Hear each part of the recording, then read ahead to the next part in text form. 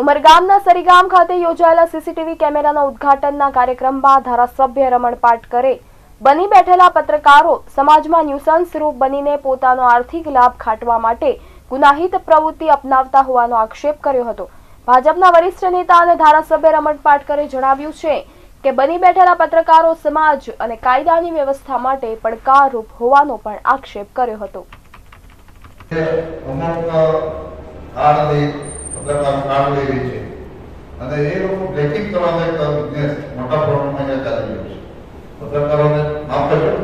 સાચી વાત છે. સાચી નહીં છે. સાચી. જ સાચી વાત છે. સાહેબ. સાચી વાત છે. એના કારણે ઘણી વખતે અદભુત બની જાય છે.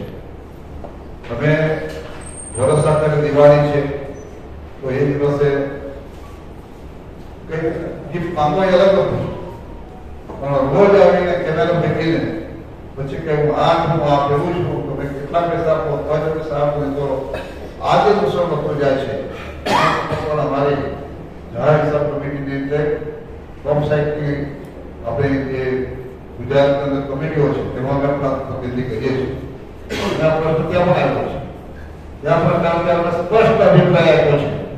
એવા બ્લેકમેલ કરતા પત્રકારોને પણ કોર્ટમાં લેવા જરૂરી છે, કારણ કે સરકાર તો માત્ર ચારસો ને ત્યાસી માણસોને જ પ્રમાણપત્ર આપેલા છે એટલે વીમાથી કલેક્શન આપવાનું છે અને ફેસિલિટી વાહન પણ આપવાની પણ નાના એકમોને માંડ ઊભા થતા હોય અને તેમાં આપણે રીતે હેરાનગતિ કરીએ બાજુ નથી સાચા પ્રશ્નો ચોક્કસ લખવા જોઈએ પારદર્શકતા લાવવી જોઈએ અને સાચા પ્રશ્નો જો આપણે મૂકીએ તો લોકતાના ઝડપ વધુ હોય આ દમણ વાત કરીશ.